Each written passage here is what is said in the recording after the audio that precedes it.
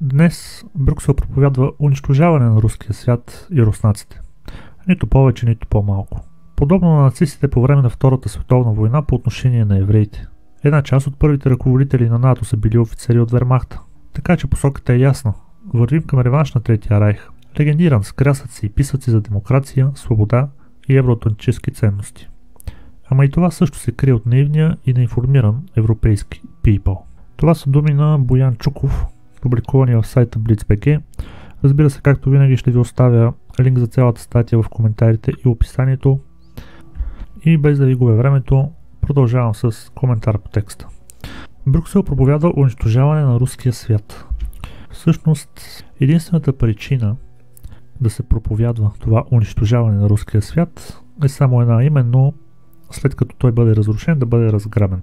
И тук отново разбира се стигаме до големите руски ресурси. Огромната територия, немалкото население от 150 милиона души.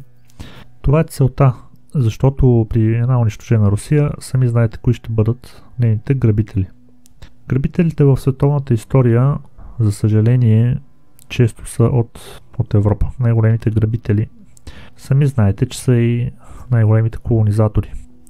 Не, че нещо много се е променило от тогава, просто сегашните западноевропейски държави са много по-слаби, за да окажат такъв натиск, натиск върху света, какъвто са оказали по времето на колониализма. Иначе биха го направили без съмнение.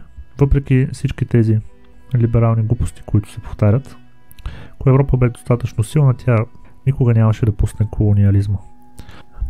Казвам това, защото с унищожаването на руския свят, именно това е което те искат да, да се случи. Запада иска да превърне руската земя и руските ресурси в своя колония. Да бъде разделена Русия на 10, 12, 15 държави, колкото е нужно, които да бъдат управлявани на кришка. По същия принцип, по който са управлявани източноевропейските държави. За съжаление, след които сме и ние. Интересното е какво се случи след санкциите, които имаха за цел да унищожат руската економика. Стана така, че Русия на практика започна да гледа по-на изток да концентрира своя пазар в Азия. И вместо Запада да бъде доволен от това, тъй като Русия намалява по някакъв начин своето влияние в Европа, самия Запад се озлоби още повече. Озлоби се още повече срещу Русия, защото видя, че санкциите не работят.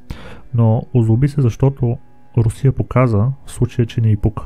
Показа, че Европа не е това, което е била преди 100 години, камо ли преди 200. Европа се превърна в една притурка на Съединените щати и жалкото състояние на Европа се задълбочава все повече и повече. Запада става все по-озлобен, все по-неприемащ различното, опитващ се да сложи етикети и епитети на всичко, да се сложат нещата в рамки. Разбира се, опаковани с страхотното словосъчетание неолиберализъм. Макар Запада да не си признава че избяга от корените си, всякакви между другото, и етнически и религиозни. Именно това се случи. Докато Русия е точно обратното. И именно това дразни определени кръгове на Запад. Друго нещо, което Боянчуков казва е първите ръководители на НАТО са били офицери от Вермахта. Това не е изненадващо. Знаете, че НАТО е създаден да бъде инструмент в ръцете на Съединените щати. Съединените щати от своя страна работят с това, което ще им свърши работа. Те не се вълнуват от това дали става въпрос за нацисти след Втората световна война, дали става, за, дали става въпрос за мусулмани след 9 септември. Съединените щати е империя, тя борави със средствата, които ще й помогнат да осъществи своите цели. Така че това още не е изненадващо. Самия Бандера е работил с ЦРУ, който е признат нацист и колаборационист на нацистите така че, какво повече да говорим? Ще продължа и с следващия цитат. Европа загуби статута си на ценен стратегически трофей за Съединените щати. Центъра на световната економика се пренася в Азиатско-Тихоокеанския регион. Азия превъзхожда Европа три пъти по отношение на дял глобалната економика. Резултатът е 54% за азиаците, също 17% за европейците. Какво иска реално Доналд Тръмп и силите, които стоят зад него? Първо, спиране на разширяването на НАТО и глобалното противопоставяне. Второ, НАТО да се преобразува на две нива. Пълноценен американски военен чадър, получават само тези страни, които дават 2% от своя брутен вътрешен продукт за военни нужди. Тук съм маркирал три неща, че Европа е загубила статута си на ценен стратегически трофей, колкото и омерзително да звучи, това бе нещо, което Европа притежаваше в своя арсенал след Втората световна война. Защото все пак тогава Европа все още значеше нещо. Чисто глобално. Като военна мощ, като економическа сила, като жизнен ресурс. Сега обаче Европа е слаба и устаряла. И Съединените щати не виждат смисъл да, да влагат в тази Европа, каквото и да било, камо ли да я пазят. Сами знаете за огромните беженски вълни, които навлязоха в Западна Европа. Сами знаете колко много малцинства и диаспори има, които ако бъдат организирани по правилния начин, могат да създадат огромни проблеми на европейските държави. Към този момент, това, което САЩ вижда от тяхна страна е, че Европа все още се държи на економическо ниво, що годе добре, но с течение на времето Европа ще загуби и това.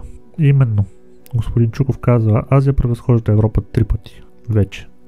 Китайската економика е в пъти по-силна от тази на Европейския съюз. Европа няма какво да предложи на глобално ниво и тенденциите са такива, че с напредване напред във времето, с годините нещата не биха се подобрили за Европа. Китайската економика върви с бясна скорост. Във военно отношение Европа на светлини години, що се отнася до ядрени оръжия в сравнение с Съединените щати и Русия.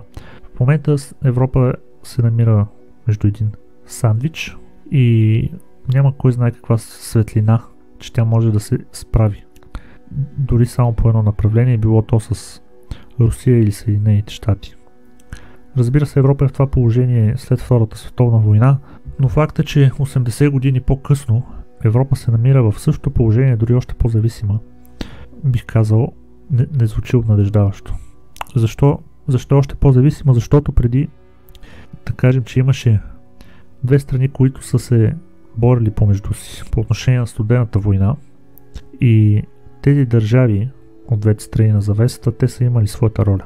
Сега ролята на Европа е една, а именно да слугува на Съединените щати, да изпълнява поръчките на Съединените щати. Когато Съединените щати обявиха, че ще дадат тази огромна помощ за Украина, никой не се съпротиви по някакъв начин. От 27 членки на Европейския съюз. Мислите ли, че всички 27 членки мислят по един и същи начин? Мислите ли, че те всички искат да са съучастници в това, което се случва в Украина? Да бъдат транспортирани през техни територии оръжия и всякакви помощи. Да бъдат изпразвани цеховете на европейските държави, военните цехове, за да може да се помага, да се помага на Украина и същевременно САЩ да им продава нови на космически цени. Друго, което твърди господин Боян Чуков е, че Тръмп ще се стреми да спре разширяването на НАТО. Тръмп в сравнение с Байден изглежда като Алберт Айнштайн. Такова е нивото в момента в Съединените щати. Такава е ситуацията. Сами сте гледали интервюта на Байден. Не искам да навлизам в а, тази тематика. Човекът е излязал извън активна, извън активна възраст. Не изглежда да е трудоспособен, камо ли президент, камо ли на Съединените щати. Дали Тръмп ще спре разширението на НАТО? Считам, че Тръмп би бил по-последователен и считам, че ако има някой, който в Съединените щати може да спре тази, тази лудост в Украина, считам, че наистина това са кръговете зад Доналд Тръмп. Считам, че те са тези, които могат да предложат на Русия нещо, на което тя да се съгласи. Това е единствената държава в света, която би могла да преговаря сериозно с Русия. Европа е слаба, немощна и няма думата. За Украина въобще да не говорим. Така че, ако някой може да намери решение по въпроса, да, считам, че това би бил Тръмп или по-скоро хората, които стоят зад него. Воян Чуков казва и нещо интересно по отношение на Франция. Ето какво е то. Съдбата на Франция е ключова за бъдещето на Европа. За контрол на страната на Волтер се борят трима играчи. Първи – Лондон, който стои зад Макрон и разрушава връзката Франция-Германия, която е в основата на Европейския съюз. Втори САЩ. Трети Ватикана, която подкрепя Марин Люпен. И реално последните парламентарни избори във Франция завършиха с резултат 1 на 1 на 1. Сега, какво съм отбелязал, за контрол на, за контрол на страната на Волтер се борят трима играчи. Това, че все още има някаква битка в западноевропейските държави, все пак значи, че има някаква искра. Разбира се, тук битката идва отвън, но, но все пак тя съществува. Макрон с тези пресрочни избори, които направи, парламентарни във Франция, в крайна сметка той направи така, че да спре устрема на крайно десните. Звучеше странно, когато свика тези парламентарни избори, защото когато това се случи, крайно десните бяха тъкмо спечелили, да кажем преди седмица-две, изборите за Европейски парламент. И това, което се очакваше, че крайно десните ще спечелят изборите в Франция. Но в крайна сметка анализаторите и хората, които стоят до Макрон, са си изиграли картите правилно, защото ако той не бе свикал тези парламентарни избори, крайно десните ще да продължат да трупат невероятна подкрепа. И при следващите редовни такива, наистина те ще да отвеят всички останали. Сега това, което се случи е, че левите се обединиха за пореден път и в крайна сметка успяха да спечелят изборите във Франция.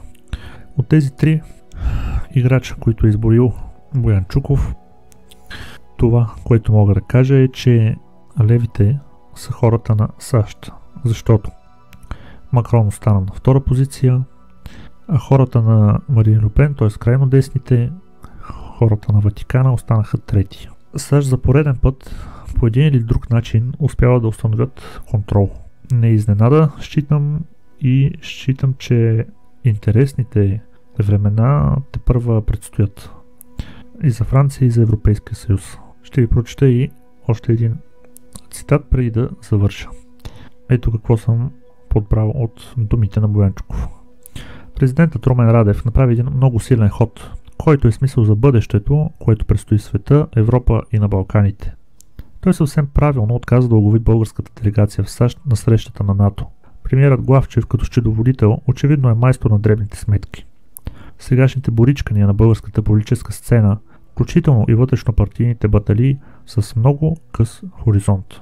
Тук ми направиха впечатление две неща, които той споменава. Именно Румен Радев направи един много силен ход, който е смисъл за бъдещето.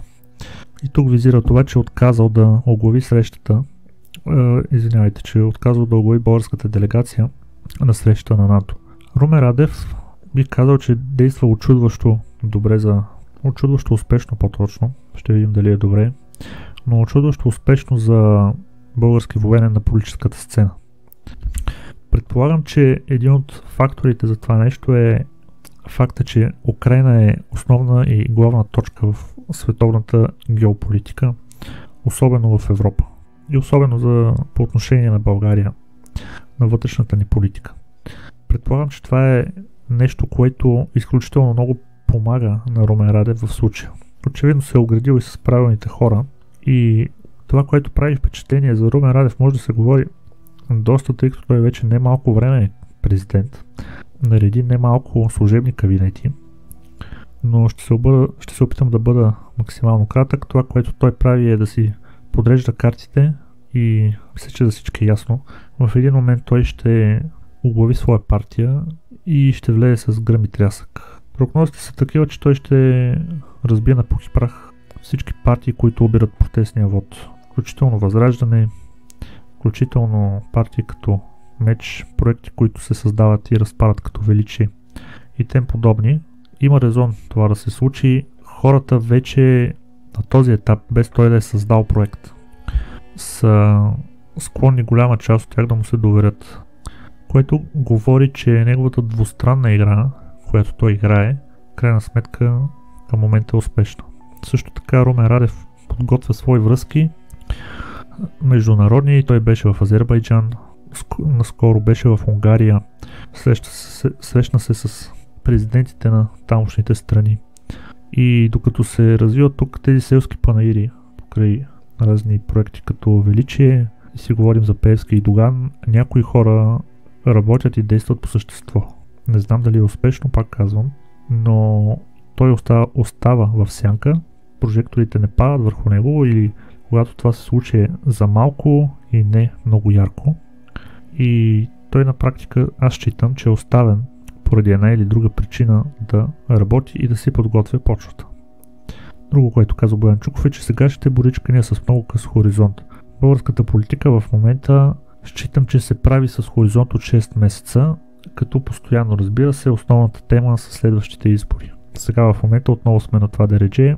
Сега в момента считам, че ние вече сме в етап на предизборна кампания. Някои партии опитват да се задържат с, с скандали в, в медийното пространство, така да се задържат под прожекторите, за да не бъдат забравени до следващите избори.